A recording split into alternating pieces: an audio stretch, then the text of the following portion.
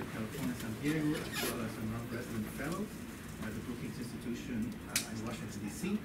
Uh, he teaches in the School of Global Policy and Strategy at UC San Diego. He holds a PhD in International Economics from Stanford University and a BA in European History from Brown University, but I also noticed that you spent some time at the University College in London. Yes. Yeah. Uh, he has History, had a, history. in history. Uh, he has had a, a very distinguished career as a diplomat, policy advisor, corporate consultant, university professor, as well as an author. He has been engaged with U.S. foreign policy, particularly for Latin America, for uh, for decades. Uh, has served uh, in different uh, positions in the White House, Department of State, Department of Treasury, as well as numerous Washington-based public policy institutes, the Peace Corps in Chile, and academia. Um, he was also a public scholar, uh, policy scholar at the Latin American program at the Wilson Center, and he's currently the book review editor for the Western Hemisphere section of Foreign Affairs. He is the author or co-author of, of numerous books. I'm just going to fo- uh, focus on three, which uh, deal with Cuba. The latest one being, uh, actually, the latest one is Tourism Cuba, no? Uh, 2016, which we presented here, and uh, LAC was one of the co-sponsors of that project. As well as the, the other book, uh, Open for Business, Building the New Cuban Economy, published in 2016. And 2011, he uh, released Reaching Out, Cuba's New Economy and the International Response. His articles and book reviews have appeared in numerous academic journals, including Foreign Affairs, America's Quarter, Quarterly, and Latin American Politics and Society. And in addition to that, he's published uh, numerous opinion pieces in leading newspapers in the U.S. and internationally, such as the New York Times, the Washington Post, the Los Angeles Times, and the Financial Times. Very happy that uh, he chose to uh, deal with this topic uh, of Cuba's forgotten eastern provinces, particularly because my own father's family is from Oriente, and I think uh, Oriente doesn't get enough um, attention, particularly vis-a-vis Havana, so I'm sure to talk a little bit about that. So please help me welcome Dr. Richard. Thank you very much, Corky. Actually, this paper should, is dedicated to you. okay? Because you really were part the inspiration, because in our various conversations, we talked about you know, your, your homeland. And, uh, you know, if you look at the literature on Cuba, it's really heavily, really about Havana. Uh, and there are a number of reasons for that. Of course, Havana is, is like talking about Paris, if you're talking about France, or uh, Buenos Aires, if you're talking about Argentina. Power, culture, money, it's all concentrated in Havana. Um, but, and it's also not that easy to get out to the Oriente these days. You know, the roads are in bad repair. Thanks to our current administration, it's harder to fly there or go there in cruise ships. Um, so it is rather somewhat remote. Plus, it's not easy to do academic research there. Uh, as, as an American, it's very few, almost no Americans really have really gone out there to try to do anything that, rather than anecdotal stuff. Uh, I was able actually to get myself an unnamed research assistant, who uh, Cuban, who uh, went to the various universities uh, in Holguin and uh, in Santiago, and found master's theses written by Cubans uh, in those university archives. So the material, formally speaking, is publicly available, but actually very hard to access.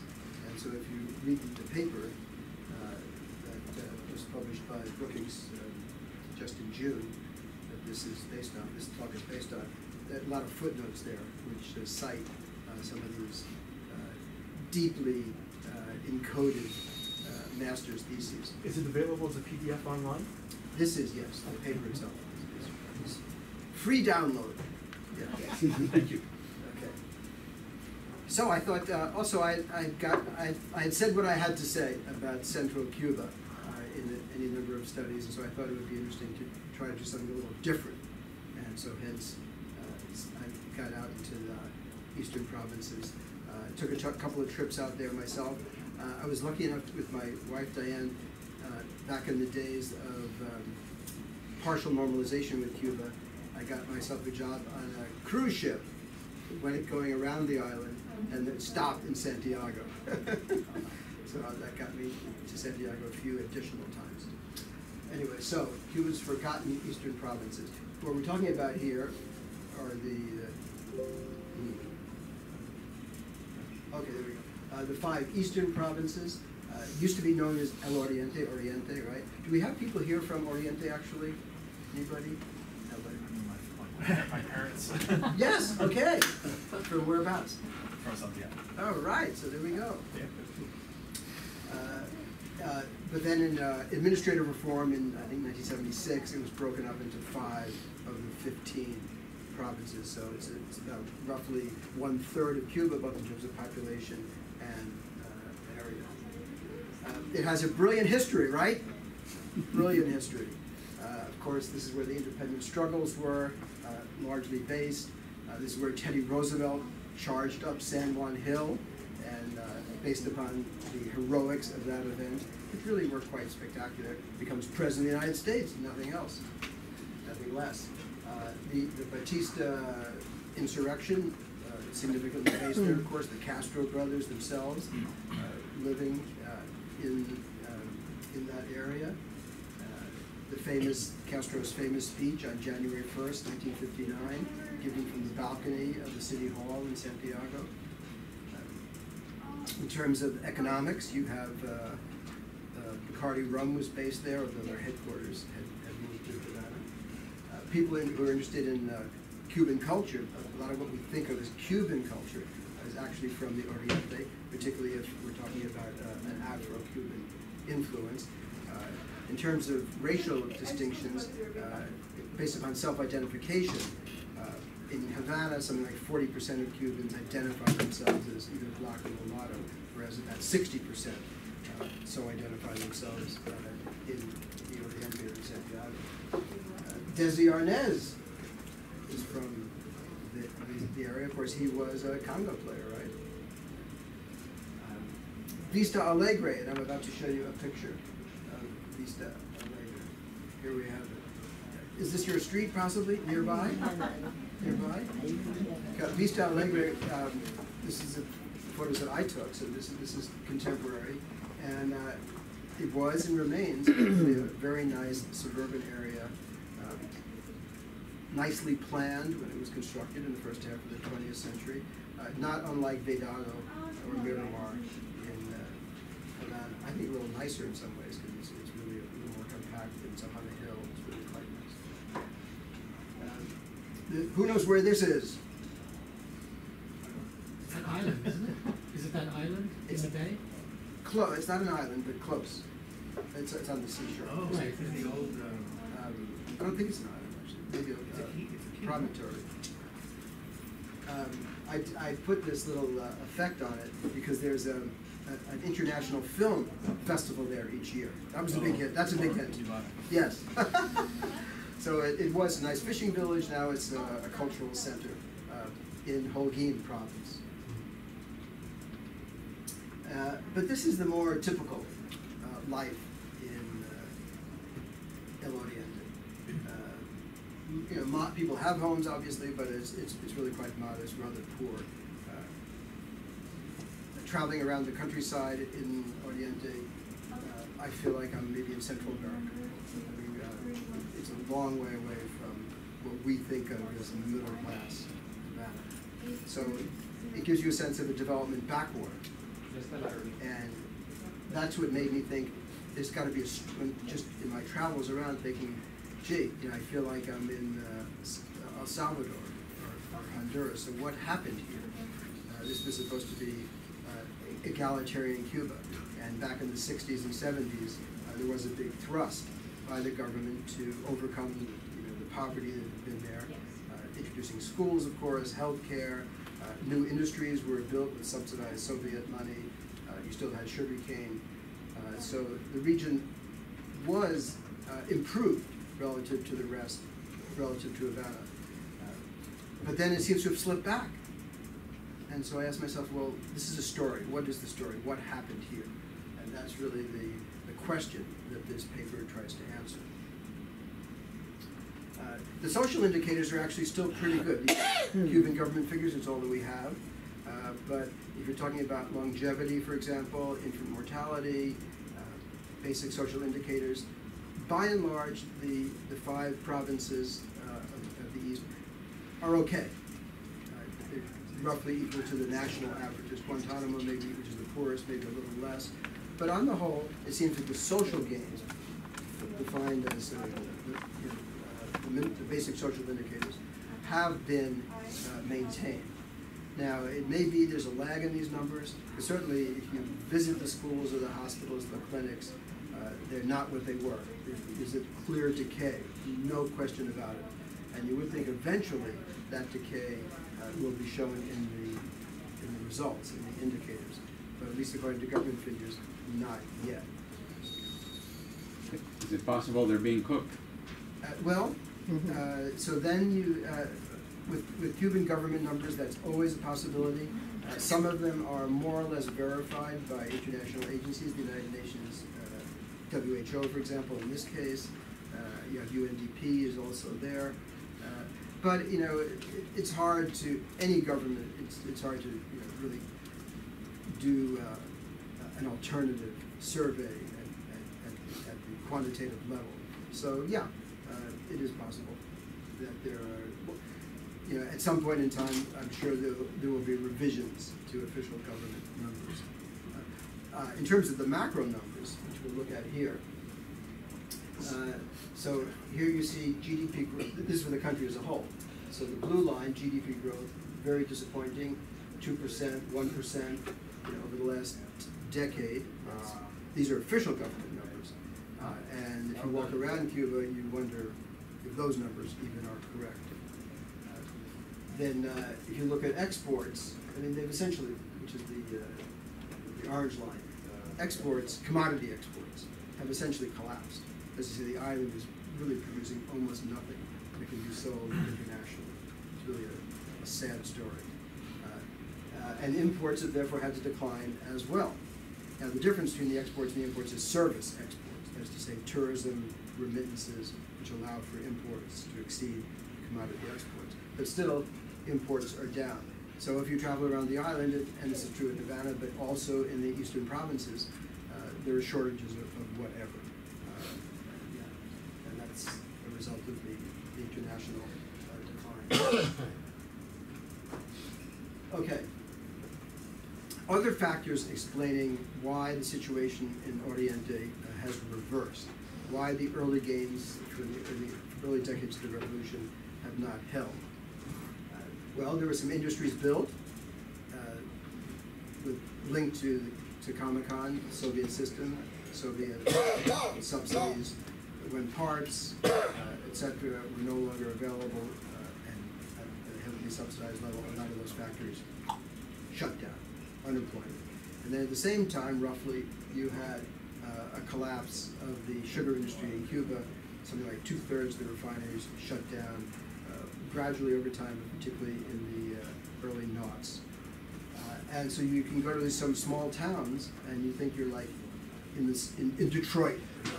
Mean, really, uh, towns that are just you know their basic uh, source of, employment and income around the sugar refi- refineries uh, have never uh, recovered. Actually, I was at the Havana Biennale uh, just last April, right? Seems so long ago. Uh, and uh, there was a, a very touching film that had been made, and this, this is this was shown in the Museum of Bellas Artes as part of the overall arts fair. Films done of sugar mill workers and their communities that have been taken uh, about 10, 15 years ago, in which, uh, again, this could have been Detroit. It, uh, when you go into an area where there's been industrial collapse and where a psychological uh, trauma that is for those who are so affected. And, you know, the government tries to sugarcoat it, oh, you know, yes, this is difficult, but we'll come back and there will be new investments, but that just hasn't happened in the Cuba case. So you just find very depressed, uh, abandoned uh, towns. So, both the agricultural and then the uh, industrial sector uh, decline. Now, there are new engines of growth on the island, and uh, three that are particularly important. But none of them, unfortunately, are particularly beneficial to the eastern provinces. So you have uh, international tourism, uh, but heavily based in the Havana, Matanzas area. Now, uh, there is a lot of, have any of you built into to Holguin? Okay, in the last year, two or three No, years? no, no, no, not that recent. Okay, anyway, uh, there are a lot of beautiful beaches and keys all along there, and the government does see that as a future tourism growth pole. And not, quite a few hotels are being built there. So, uh, but by and large, uh, go to Santiago, for example, and and elsewhere, and you just don't see all that many tourists. So the tourism heavily concentrated uh, in the Havana and Matanzas areas. Similarly with remittances. So remittances go to uh, you know, largely the middle class families that have emigrated, and that's again largely from Havana. What you and the, and the surrounding areas, although not entirely.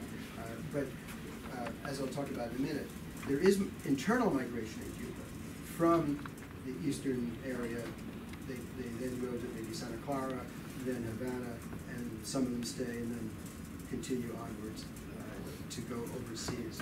Anyway, but so remittances, although we don't have, I haven't seen any remittances by provinces, uh, still I think it's safe to bet that they're concentrated in the Havana area. And then the whole uh, rise of the private sector, it's been about um, ten years now, you've got a growth of the private sector. Um, Current government uh, is ambivalent, uh, so it- the growth rates have slowed, and then, of course, the reduction in American tourists has also hurt. Uh, But still, the numbers do show that the growth in the private sector, again, has been largely uh, not in the east, but in the center and in the west. So the three engines of growth, tourism, remittances, and small business, uh, have not benefited uh, to the same degree in the eastern provinces as they have Havana and surrounding areas. Uh, This shows uh, tourism uh, and the number of rooms, and you can see heavily concentrated they are uh, in Havana and Varadero, uh, and much less so in the eastern provinces. You have a little bit in Santiago and Holguin, and then almost nothing in the other three provinces of Granma, Las Tunas, and Guantanamo. Uh, you do have some growth in Casas Particulares uh, in Santiago. In fact, there are, and in Holguin, there are more, uh, it- it- in Santiago, there are more rooms in private homes than there are in hotels.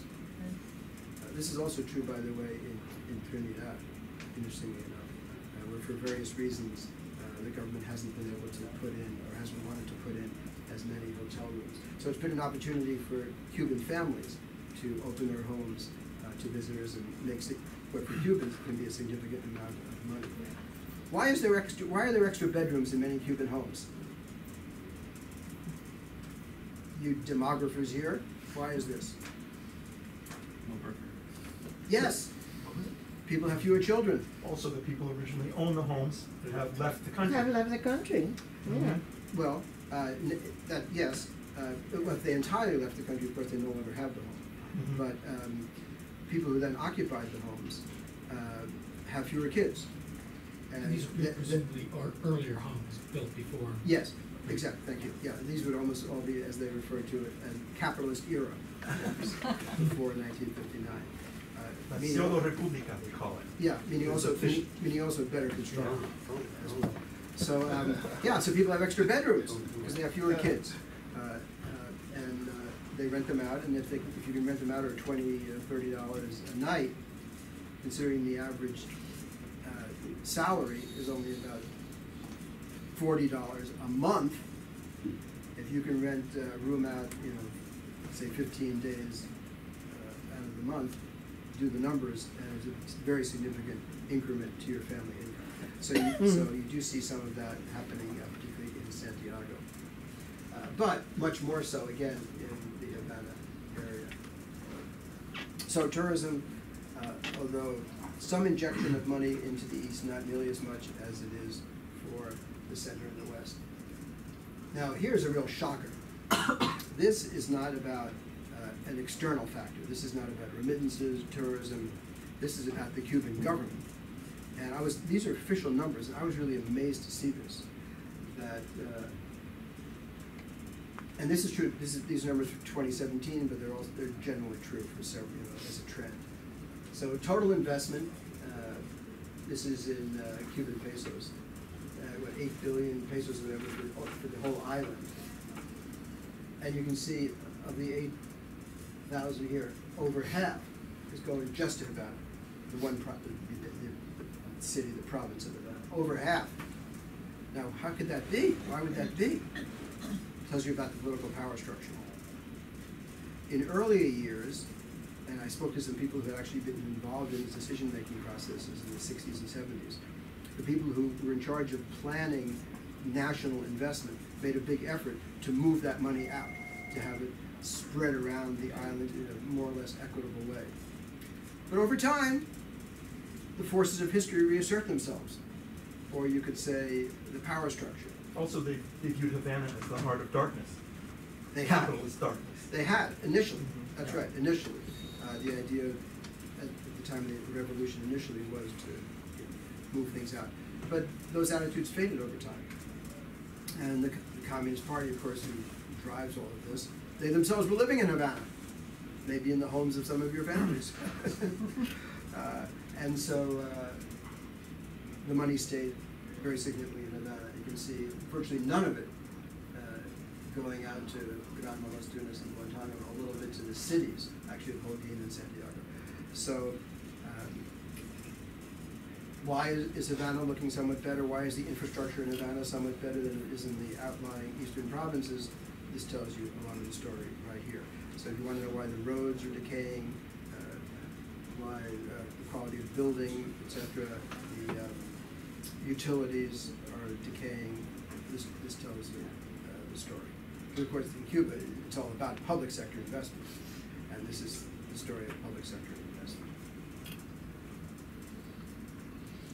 So as a result of all of this, in terms of the demography, uh, you have here uh, net migration.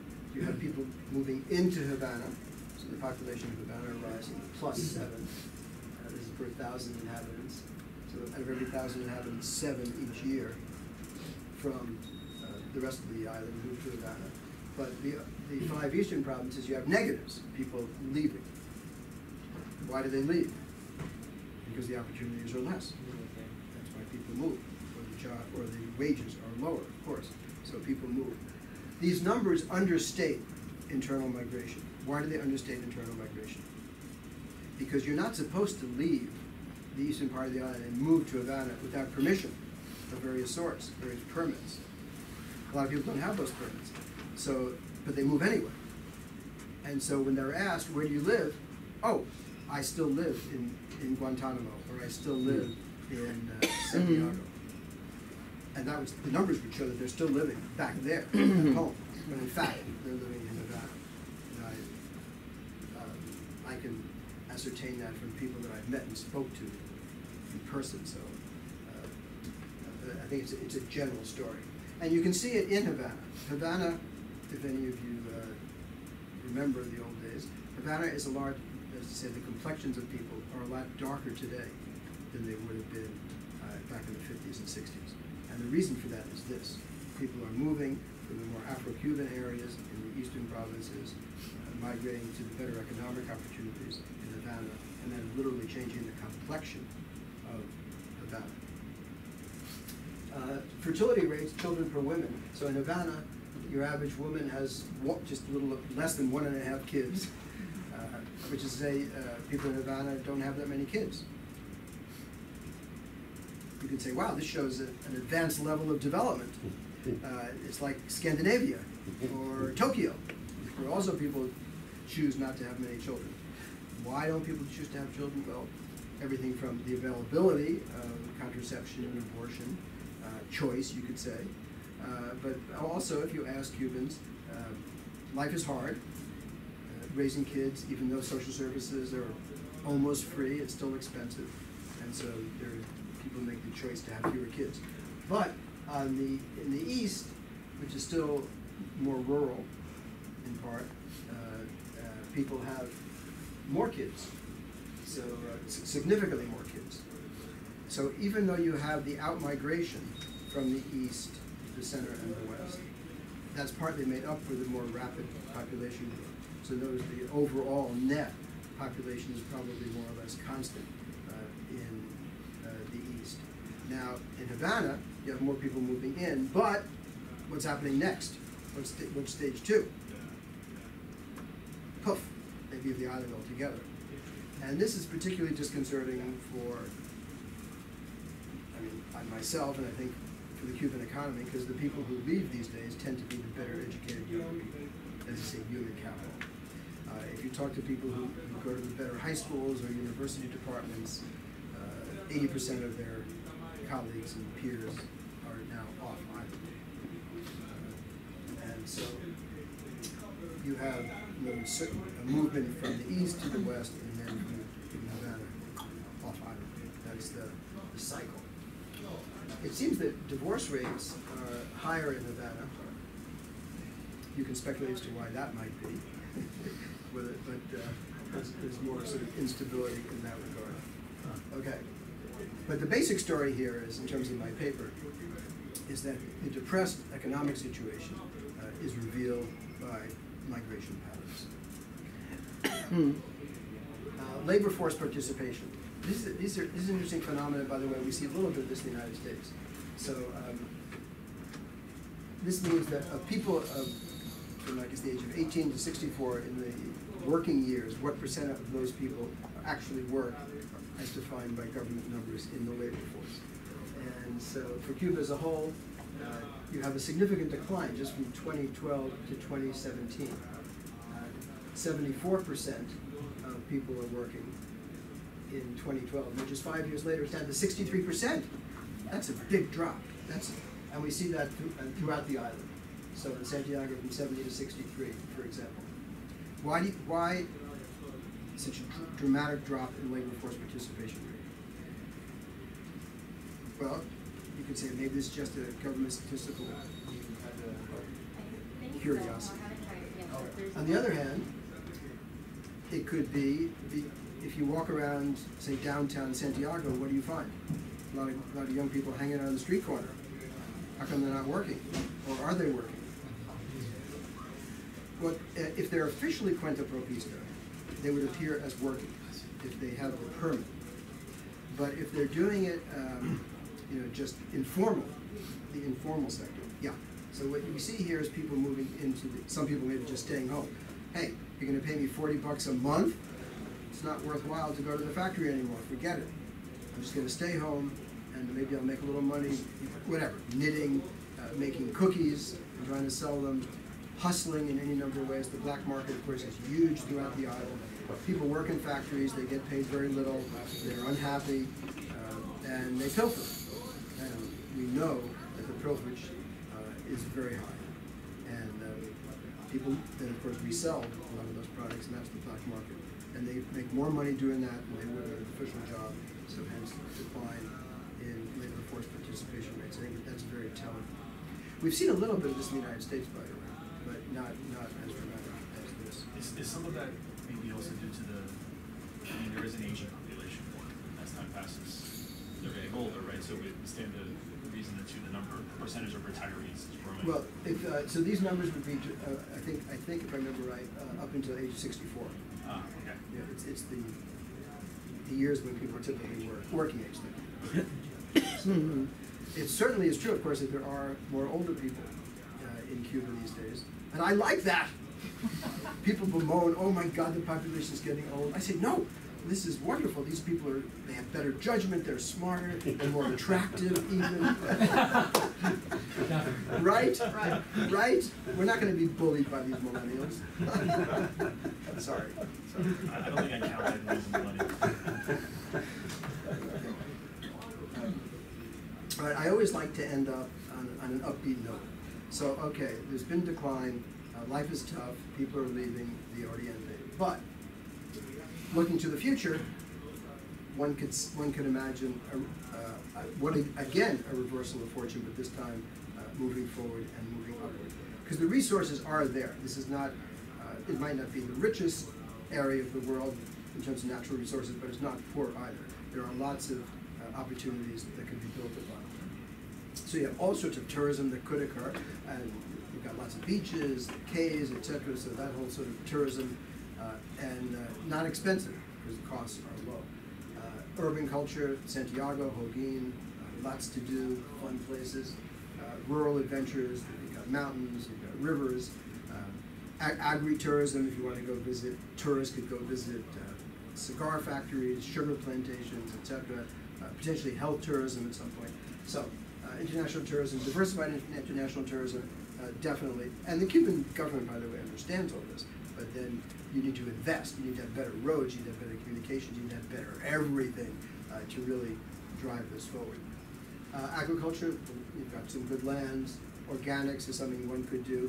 They have organics by requirement because they haven't been able to afford all the uh, chemicals that, you know, are associated with modern agriculture in a way that enables them to leap uh, that whole process directly into organics. And you do have some of that, but you do a lot more. Uh, energy, you know, uh, sail around. It's interesting to sail around the island rather than just fly in, because you get a sense, by the way, of why cities are located where they are. Why are they located where they are? Because of natural ports. That's why Santiago is where it is. That's why Havana is where it is, etc. That's where the Spanish ships landed. That's why the battle of the most important battle of the Independence Wars was Santiago in the harbor, where the U.S. naval ships um, uh, blockaded what remained of the Spanish Armada and said, "You guys better surrender or else." And I think they did actually sink a few ships just for the hell of it. Yeah. Uh, so anyway, and when you travel around the island, you see how much wind there is blowing around the island. So yeah, huge potential for uh, wind, uh, solar panels, of course, sunny, um, biomass. Now again, the Cuban government sort of recognizes all of this. You know, be genius to see this, but they're not able to do much about it. And they put out publications saying, yes, we're going to invest in solar, and then they put up, you know, ten turbines and say, yeah, look at us, or wind turbines, yeah, look at us. Uh, in fact, in uh, in you can see from where that photo is, got ten wind turbines in the background. Ten. They need a hundred. They need a thousand and that would require a whole different level of government energy and sense of urgency, as well as uh, serious openness to foreign uh, partnerships. Th- There's nickel uh, with Canadian participation. The price of nickel is, is somewhat down these days, but uh, that's another source of growth. Light manufacturing, which you don't now see. If you talk to the Cubans about, oh, maybe why don't you have like a Nike factory? uh, or something of this sort, light manufacturing. Oh, we can't have our workers, our educated workers, doing manual labor. Oh my God, like you could actually. Did they ever have any um, during the Soviet period or the Yeah, they did, period? yes, uh, it wasn't efficient enough to ex, well, well, maybe they, maybe sold a little bit of it into the Eastern Bloc. But yeah, they did have some, not, not very good quality, but yes, they did have some, Mhm. correct, so thank you for that. No, I was just wondering, I didn't know. Yeah, yeah, So- yeah. Um, So, one of my uh, sort of innovative ideas is, one day, the base at Guantanamo, the US naval base, which is just sort of sitting there, not being used very much anymore, it clearly is uh, ar- archaic. Talk to anybody in the US uh, Navy, they readily admit that. Uh, At one point, it will be handed over to the Cubans. And what are they gonna do with this nice base? I say, turn it into a free trade zone in which they would have light manufacturing, which could be the product, just like you have in the Dominican Republic, for example, in which you could, because of proximity. And now that we've decided, by the way, that we don't think it's such a great idea for U.S. supply chains to be so concentrated in China, oh, let's move a little bit of that to uh, Guantanamo. Wouldn't have to be very much. You know, create a hundred thousand jobs, whatever. It would make a big difference uh, to uh, the very depressed economy out there. Uh, and then finally, uh, regional administrative autonomy. Cuba is super centralized, of course, from Havana. Partly this reflects the structure of the Communist Party itself. Uh, in the new constitution, there's talk about greater regional administrative autonomy, to say, pushing decision-making, pushing some resources downwards. Uh, we'll see if that happens. At some point, that may happen. Whether or not that will happen so long as the Communist Party uh, is so strong and centralized, uh, I think remains to be seen. That to pull in the other direction. But at some point, you'll see more administrative decentralization. So this is the future. Looking forward, I think these things will eventually happen. Although exactly when it's hard to say, but I think you will eventually see recovery and growth in your home village. So, okay. So with that, thank you very much. This is a, a scene in today. Who, who will have the political